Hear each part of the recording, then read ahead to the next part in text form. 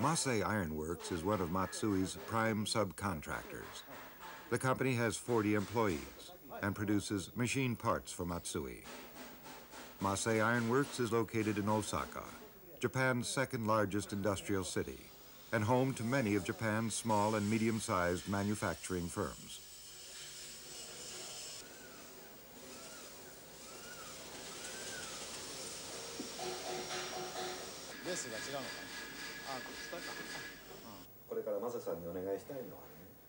Even though you've done a great job up to now, I'm asking you to work even harder.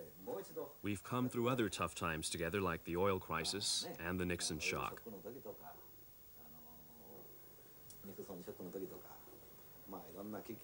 But this is a tighter situation than ever before, and I just want to impress this on everybody.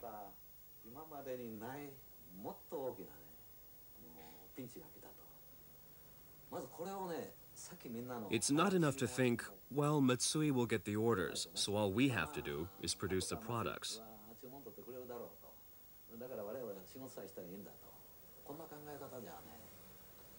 Everyone, not just the president and the directors, must be aware of the seriousness of this situation.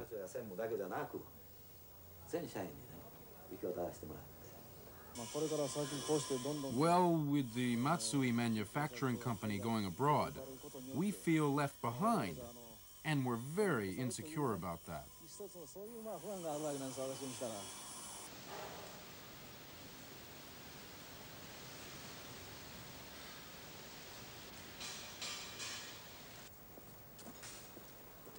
Matsui moves on to visit another subcontractor, Kuwata Industries, a high-technology welding operation with 15 employees. Relations between the two companies date back two generations. For Matsui, informing his old friend of the changes facing both their companies is a difficult task. You're going to have to be prepared for a short slump.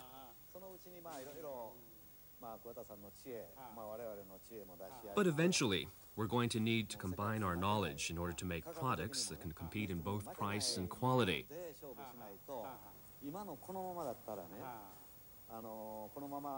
Going abroad may add 50% to our costs, considering the exchange rate, and customs and distribution costs could double that.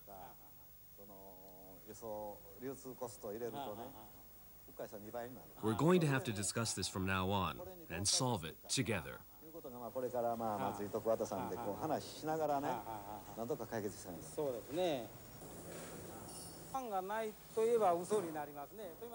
I can't say that I'm not worried. Until now, Matsui's production was all domestic, so those of us in the Osaka area could always count on getting plenty of orders. If they move production overseas, our share will shrink. I'm worried that the overall amount of work will decrease as well.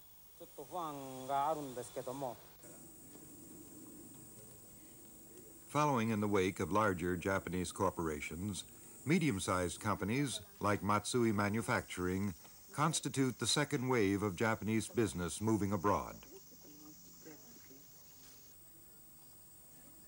Shigeaki Gondo is a 44-year-old Matsui employee. He has returned to his hometown to visit his family shrine and to say goodbye to family and friends. Gondo will be moving to the United States, where he will take charge of Matsui America.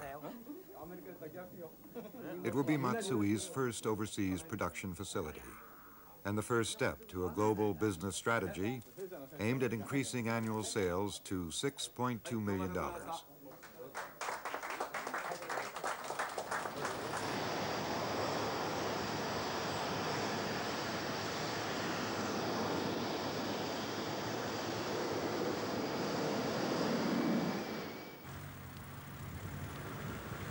The history of small business in Japan is one of unbelievably rapid technological change.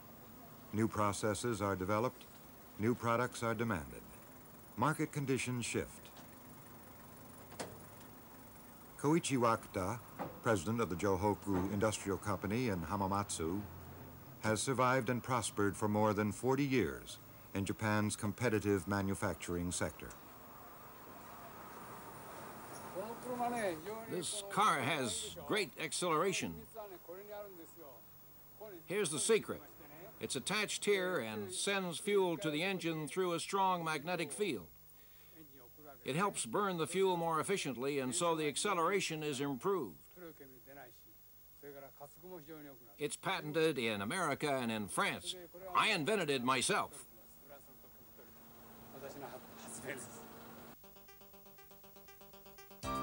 Small industries made a major, if unsung, contribution to Japan's recovery after the Second World War.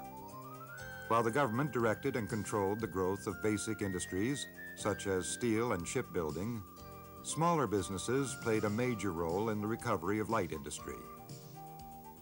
Mr. Wakura's first product after the war was a press for extracting sugar from sugarcane.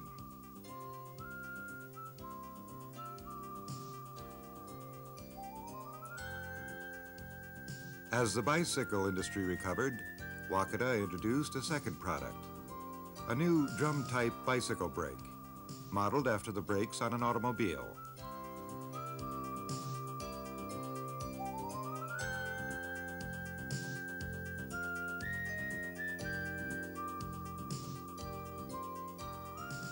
By 1967, the Japanese economy was booming, and the first domestically produced Japanese computer was presented at a national business exposition. The information age had arrived. Wakura staked the future of his company on the manufacture of computer components, investing heavily in the precision equipment necessary to compete in the age of high technology. With the invention of his fuel-saving device, Mr. Wakura finally realized his dream, to develop a patented product of his own. One business usually lasts me about 30 years. I originally started with a process for tatami edging, which was quite successful for a 30-year period. We manufactured the bicycle brake for 30 years. But the bicycle industry is now in decline. I'm in the computer component business, but now I've developed this. I think it will really sell. Just think of how many cars there are in the world. Today, small businesses all over Japan are searching for ways to cope with the high value of the yen. For some, the answer lies in moving overseas where they hope to recreate, on a global scale, the parent-child relationships that have characterized Japanese manufacturing for the last 30 years. But others, like Delta Research in Yamato City, seek survival in ever higher cycles of specialization. Delta Research has 16 employees and is the only company in the world with the technology to plate this amorphous copper alloy. It took company president Masami Kobayashi five years to develop the technique.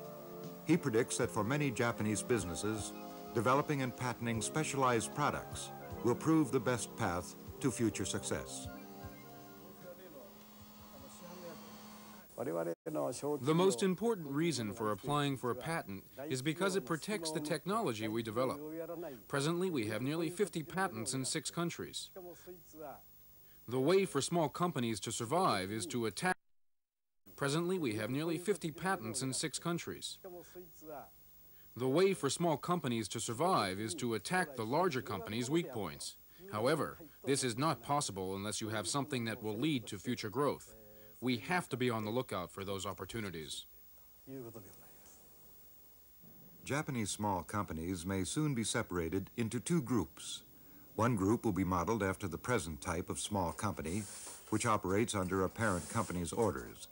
The other will supply its parts to several parent companies. By developing its own technologies and production methods, these small companies will deal with larger corporations on a more equal footing. Increasing automation, the growth of the information and service sectors, and foreign competition will challenge Japan's small businesses. But for entrepreneurs with business acumen and technical skill, the changes in Japan's business climate will afford new opportunities. Okano Kogyo develops special dies for casting in its downtown Tokyo factory. With only four employees, the company has annual sales of $25 million. Now I am more than happy. People may resent it, and they talk about the strong yen and so on, but I think from now on, the answer is in creating as well as using new technology. At this point in Japan, you can't do business with products that have to be transported by truck. You've got to have one that will fit into a pocket and still bring in a big profit.